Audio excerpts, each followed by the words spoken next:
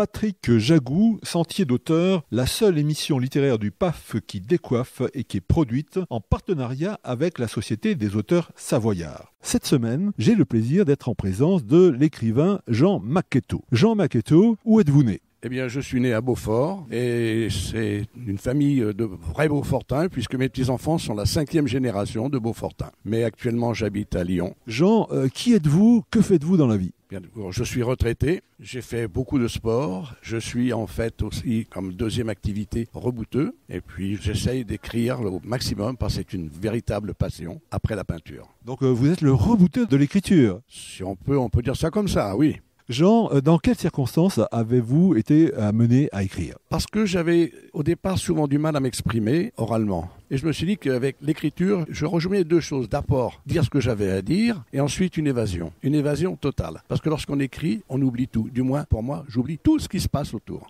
Donc euh, Jean Maquetto, vous avez écrit plusieurs livres. Parmi les livres que vous avez écrits, quel est celui qui contient l'essence de votre pensée, le jus de votre citrouille? Eh bien, c'est le premier, c'est Un si charmant village. Ce livre m'a été inspiré d'abord par deux faits divers. Le premier, ce sont les promoteurs un peu indélicats que je voulais cibler. Et puis le deuxième, il s'agit des gens du Midi, des cultivateurs, des vignerons, qui quelquefois embauchent des personnels espagnols ou portugais dans des conditions absolument innommables. Et j'avais lu quelques articles sur ces deux phénomènes qui m'avaient vraiment énervé. Et je, n'aime pas l'injustice, je n'aime pas l'exploitation de l'homme. Donc euh, il fallait que je vide ma bile d'une façon ou d'une autre. Par les paroles, je ne pouvais pas, mais par l'écriture, c'était beaucoup plus facile. Et c'est ce que j'ai fait. Et comme par hasard, il se trouve que ce livre que j'ai écrit il y a quatre ans, eh bien, la fiction a rejoint la réalité, puisqu'il vient de se passer exactement, j'allais dire chapitre par chapitre, ce qui se passe dans mon livre vient de se passer à Bip en Savoie. Chers auditeurs, vous découvrirez peut-être le nom de ce village en lisant l'ouvrage de Jean Maquetto intitulé Un si charmant village, paru aux éditions Ribamar.